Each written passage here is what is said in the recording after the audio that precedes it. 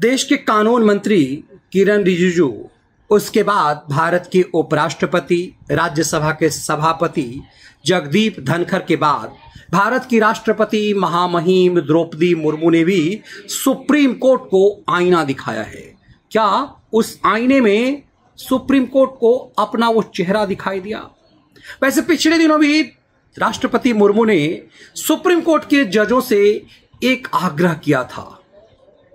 कि आम आदमी की भी दलीलें सुनिए, आम आदमी की भी पीड़ा सुनिए, क्योंकि वो सुप्रीम कोर्ट तक तो पहुँच नहीं पाता। अब झारखंड हाईकोर्ट के एक उद्घाटन समारोह में भारत की राष्ट्रपति द्रौपदी मुर्मू ने chief justice of India, justice D Y Chandrachud के सामने में जो बात रखी, चंद्रचूड़ का चेहरा पूरा सन्न रह गया। क्योंकि भारत की महामहिम थी देश की राष्ट्रपति तीनों सेना की प्रमुख और भारत की सुप्रीम संवैधानिक प्रमुख। राष्ट्रपति मुर्मू ने जो इशारा किया जरा उसे एक बार सुन तो लीजिए। I clo- conclude, I say मैं आज इसीलिए यहाँ कहना चाहती हूँ कि यहाँ chief justice of India chief justice of Jharkhand high court और बहुत सारे जजेस सुप्रीम कोर्ट के, हाई कोर्ट के एडवोकेट्स लॉयर्स बहुत सारे विद्वान व्यक्ति यहाँ बैठे हैं। बहुत सारे केसेस हाई कोर्ट में फाइनल होता है। बहुत सारे केसेस सुप्रीम कोर्ट में। वर्डिक्ट लेके जाते हैं। जो केस जिनके फेवर में है, जो पॉजिटिव है, वो नाचते हैं, गाते हैं।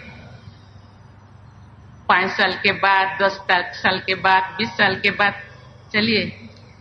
देर है, लेकिन अंधेरे नहीं। इसीलिए वो खुश होते हैं।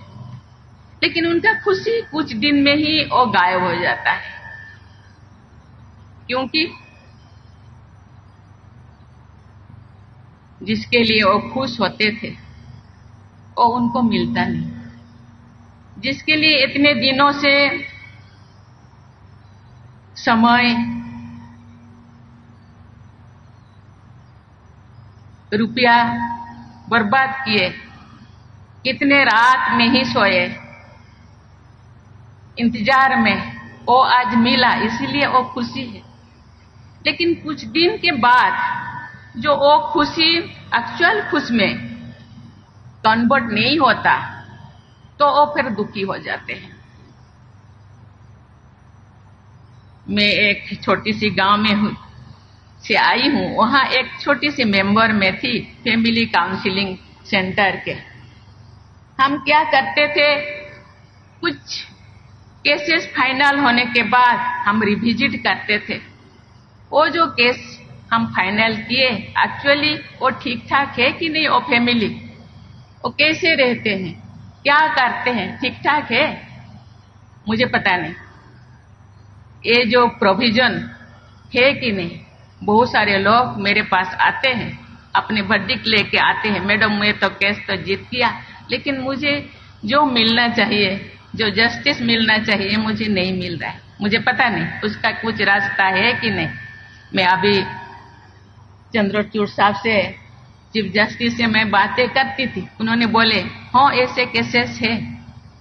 बहुत सारे लोग, लोगों को पता नहीं, उन्होंने बोले कॉन्टेम्प्ट केस कर सकते हैं। लेकिन बहुत सारे लोगों को पता नहीं कॉन्टेम्प्ट केस करने के बाद फिर फिर शुरू से मुझे फिर वही दोहराना पड़ेगा।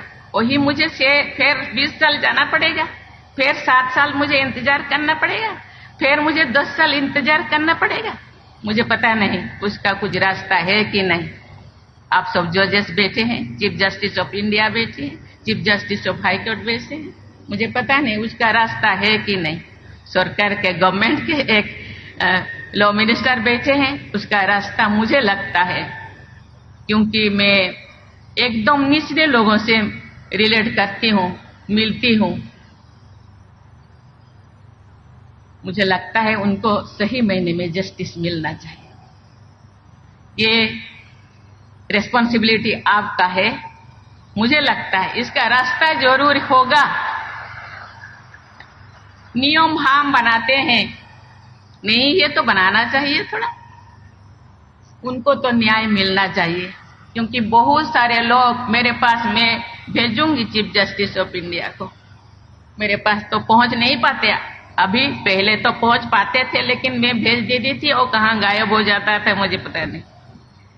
लेकिन अभी मेरे पास जो जो है, मैं जो ज़रूर आपके पास भेजूँगी। मुझे लगता है उनको एक्चुअल खुशी मिलना चाहिए एक्चुअल न्याय मिलना चाहिए। जाए तो कहाँ जाए? चीफ जस्टिस ऑफ़ इंडिया या सुप्रीम कोर्ट के बाद और कोई तो कोर्ट शायद नहीं है।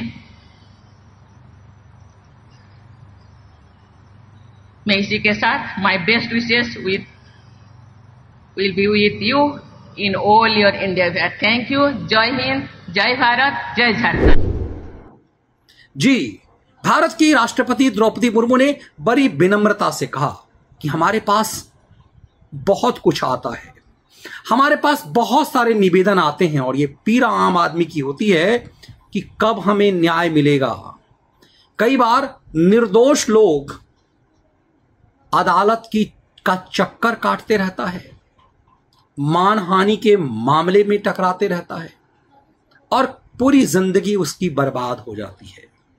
दरअसल, महामहिम राष्ट्रपति जी ने सीजीआई को जो संदेश दिया, उसकी जब बारीकी को आप समझेंगे तो वो यही कहना चाह रही हैं कि आप मिलॉट सिब्बल जैसे लोगों की दलीलों पर तो तुरंत अदालत लगा लेते हैं।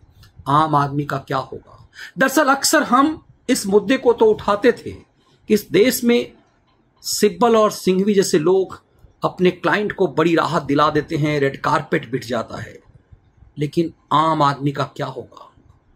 कब तक इस देश की सुप्रीम अदालत आम आदमी की होगी? कब तक इस देश की सुप्रीम अदालत सिर्फ़ धन्ना सेठों और राजनीतिक प्रभुत्व वालों के लिए रेड कारपेट बिछाएगी? उम्मीद की जानी चाहिए कि जो आईना सुप्रीम कोर्ट को भारत की महामहिम ने दिखाया है उसमें उन्हें अपनी तस्वीर दिखी होगी। बहुत बहुत धन्यवाद।